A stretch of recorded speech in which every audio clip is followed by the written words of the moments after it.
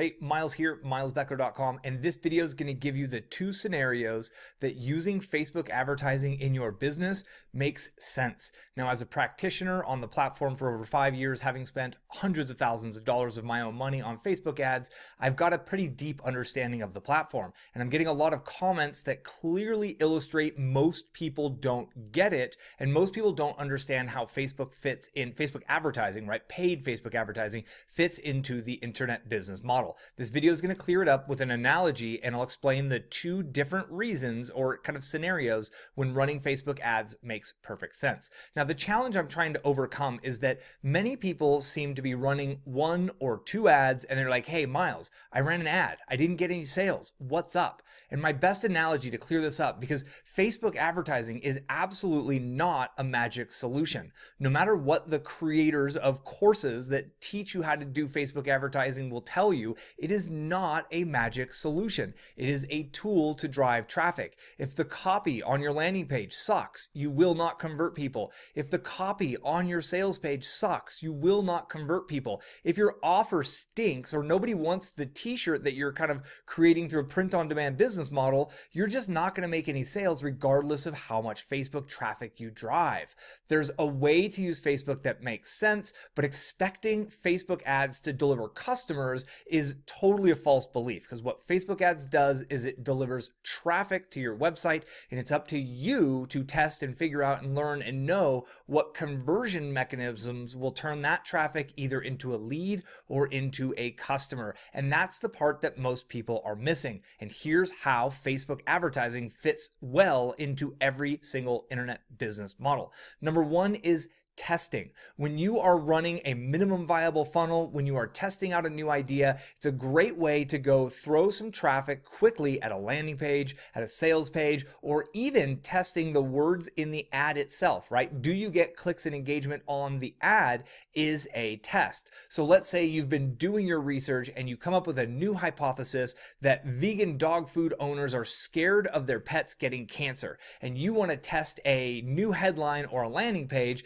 that is is prevent cancer in your dog with these vegan pet food tricks. And you want to test that idea. And the last squeeze page you had converted at 15%. You run some traffic from Facebook of pet owners or dog owners to the squeeze page, and you see 40% of people opt in for that report. You have just proven through data that this new idea you tested is actually converting better than the old idea that you had. Great part about testing is you could do it with 20, 30, 40 dollars. Usually within one to 200 dollars, I'm able to run enough traffic to have very, very clear data on whether an idea that I have that's rooted out of research, by the way, these aren't ideas I'm grasping out of thin air. I'm testing ideas I get from research to see if the audience actually responds or not. So that's the first way you use it. The second way to use it, the analogy I have is that Facebook advertising is like fuel. It's like petrol or gasoline, whatever you call it, right? And the only way gasoline works is if you have a fire already going or some sort of a spark there, right?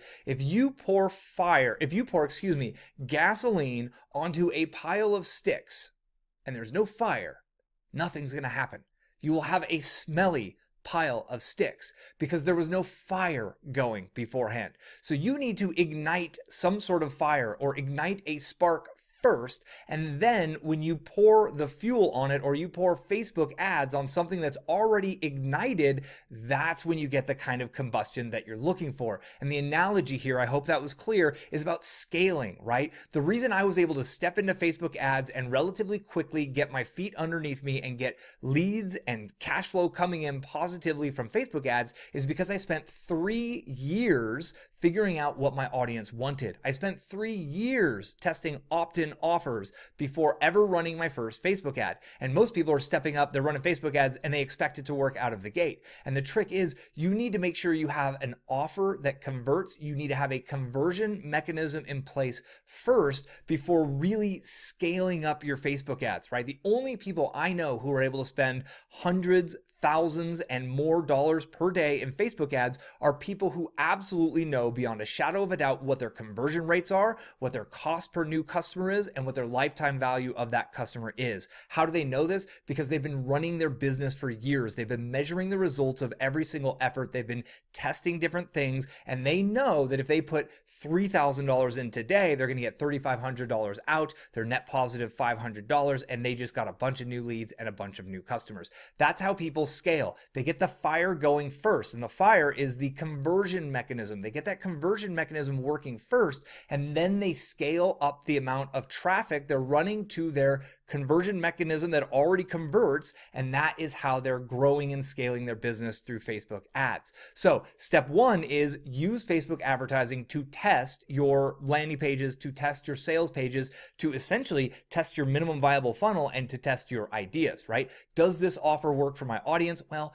$50 of Facebook ads or $100 of Facebook ads over the course of a few days or a week is a great way to test that. So maybe you test a landing page before you go build out an entire product. You don't want to necessarily spend a month building out a product that you have no data whether your audience wants to purchase that product or not. This is a huge mistake that so many people are making. They go audience, they go product first. They're out there, they build a product, they're like, great, now I got this product, cool, I'll just run some Facebook ads and people will buy my product. Not necessarily, unless they feel that your offer is really truly going to help them achieve their goals, avoid their biggest fears, avoid their challenges, and solve their problems, they're not going to take action. It doesn't matter how good of an ad you run, it doesn't matter how clear or perfect of an audience you target. If the messaging on your landing page or the messaging on your sales page sucks, nothing's going to happen. And this is why I'm such a proponent of learning and studying copywriting and really focusing in and measuring all of the statistics, all of the data, knowing your key performance indicators, because you need to know whether your money that's going into Facebook is actually coming back to you or not, right? You need to know if you're getting a return on that investment,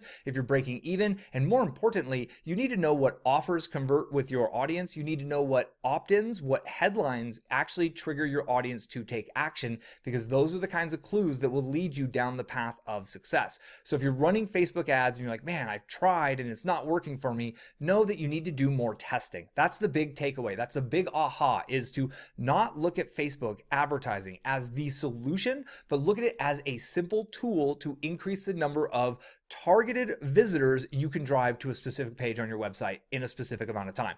That's what it's perfect for. So let it be that. Your website, your page, your copy still needs to do the heavy lifting. You need to do the work of converting that traffic into a lead, that traffic into a subscriber, or even maybe you're just helping that traffic become a very happy reader of the content that you've created. But either way, it's up to you. You need to own that conversion. And if your Facebook ads aren't working, that's because you haven't put enough time, energy, focus, and research and effort towards the conversion mechanism that you're sending people to. I would say 80 to 90% of the time when people come at me in the comments with my, my ads aren't working, what's going on? It has nothing to do with the ad. Running the ad is easy creating an offer that is highly desired by a specific audience that's going to get them to take action, whether that's opting in and subscribing with our email list or purchasing or buying, that's the most difficult part of building an internet business not the Facebook ads, the conversion mechanism. So use Facebook ads to test your conversion mechanisms,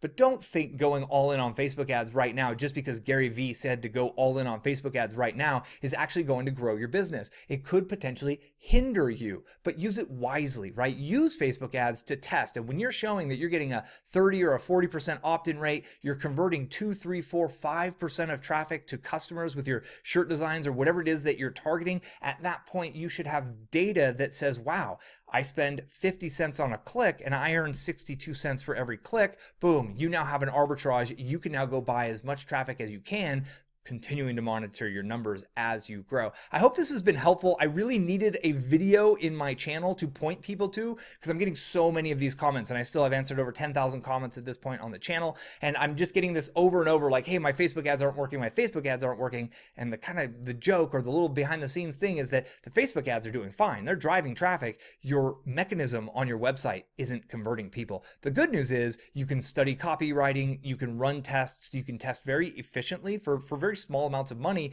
to identify the headlines, the opt ins, the products, the offers that do convert. And when you find out what your audience wants and what they take action on, right? What they convert, what actually gets them to convert, when you find what that is, the rest of life gets easy. Traffic is the easy part right? Once you have an offer that convert, you can run Pinterest traffic, you can run Instagram traffic, you can run influencer traffic, you can run Facebook traffic, you can run Google traffic, SEO traffic, video traffic. That is easy once you have an offer that converts. But until you have that, none of the traffic in the world is going to be your solution. The traffic isn't the savior. You are your savior, creating an offer that converts, a headline that converts, an opt-in page that converts. You can do this. I've been through the process. I started with zero skills in internet marketing, zero skills in copywriting. I've learned all of this the hard way and I've documented as much as I can to help you, but this was a mindset, mindset and a perspective shift for you to make you realize and help you realize that focusing in on your conversion mechanism is key put together your minimum viable funnels, right? Make sure you're testing these with a little bit of traffic, some paid traffic.